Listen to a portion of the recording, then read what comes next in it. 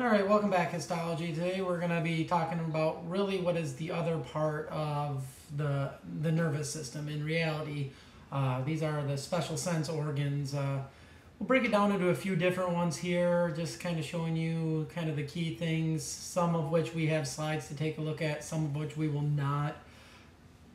But special sense organs are really these different things that are involved with one of the special senses. So when we think about sense organs, you can have what are called the general senses, which that's going to be kind of what a lot of times to be thought of as like your sense of touch, but in reality, sense of touch isn't just a single thing. I mean, if you think about your hand, there's just touch, and then there's pressure if you squeeze a little bit harder, but then there's also heat, cold, pain. Those are all different types of sensory receptors. So when we really think about general senses, it is a number of those different receptor subtypes uh, that are involved in that one.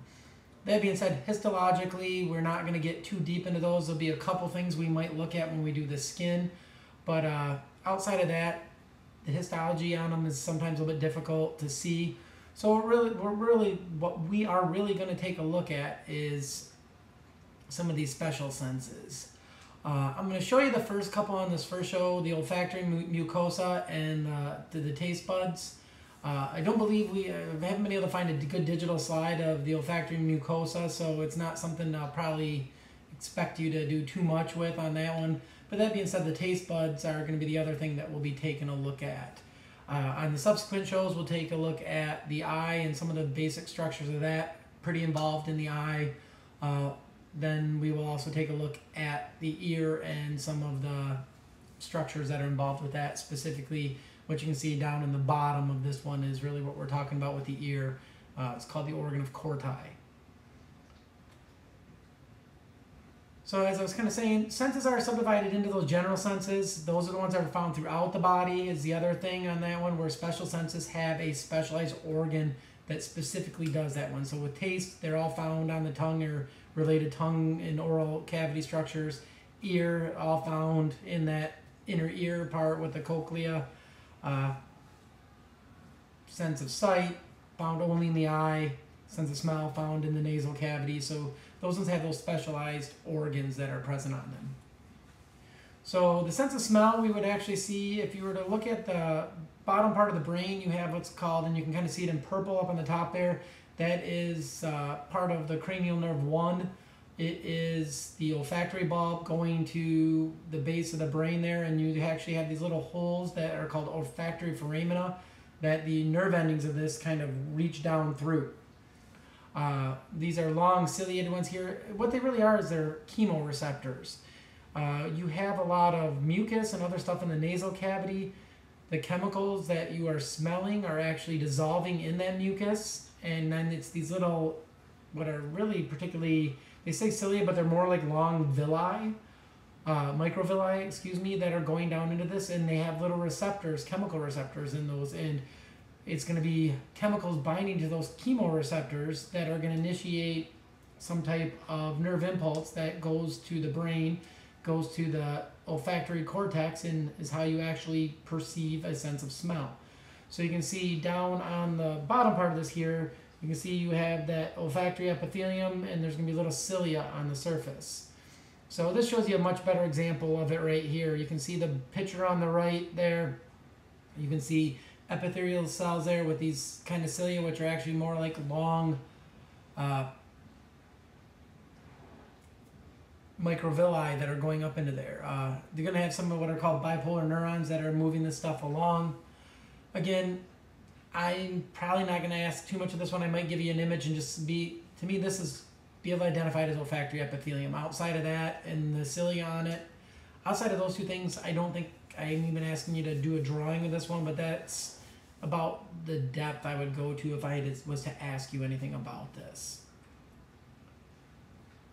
And again, they call the molecules that bind this, those chemicals, they call them odorants. Uh, big surprise when it comes to taste, they call them tastants but they bind to receptor proteins on these large microvilli or cilia, and it generates a nerve impulse that goes up to the brain, and then your brain breaks down that information, and you actually sense some type of odor. Uh, you have these basal stem cells that are always producing more of these olfactory receptors. Uh, sense of smell is something that's easily kind of damaged with being able to inhale that stuff. So these are some of the few neuron type of cells that actually are continuously being reproduced. And there has actually been uh, some studies with using some of these basal stem cells to help retarget spinal cord injuries.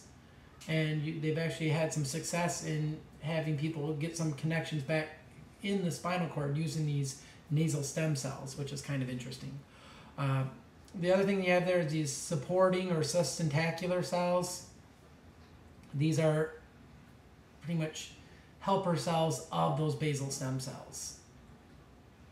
The other thing I want to kind of have you take a look at is going to be taste buds. These are found on the tongue and some of the oral cavities structures as well.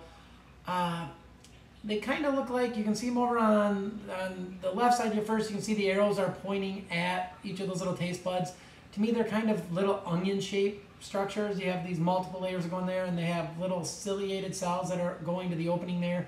Where it says TP on the right side, that is that taste pore, where you have these large microvilli, again, coming in there with chemoreceptors on there, and again, gonna bind to these chemicals and trigger some type of actual nerve impulse response that's to send it back to your gustatory cortex and you're to perceive taste. Again, basal stem cells there making new of these cells all the time. You have the cells that actually have the chemoreceptors, and then they're again going to be sustentacular cells that are providing support. To me, I want you to be able to identify these as taste buds and maybe where the taste pore would be on, on those. I am not going to have you on a test trying to differentiate the sustentacular versus the gustatory cells. But you can see in the picture up there the difference. Much darker nuclei in the one versus the other. Uh, these are found in papillae on the actual tongue. So the tongue has all these little bumps and ridges that are on it. If you really zoom in on it with these little cracks that are going in on each side of this image, those would be those crypts and the taste buds are usually lining that. Uh, looking at some of the other digital slides, I found one that has some decent taste buds on it. None that have this level of or number of them on there, but I would expect you to be able, like I said, look at this, know that you'd find the taste buds on the tongue, know that this is a papilla, be able to identify if I was to do a drop and drag box, what is an actual taste bud. Uh, the taste buds, they have a number of different chemoreceptors. A lot of times they talk about five basic tastes. Uh, the more studies they do on this, the more they find that there is other receptor types. Uh, actually, they've had ones that for stuff that has gone bad, there's actually a separate type of tasting molecule receptor for that.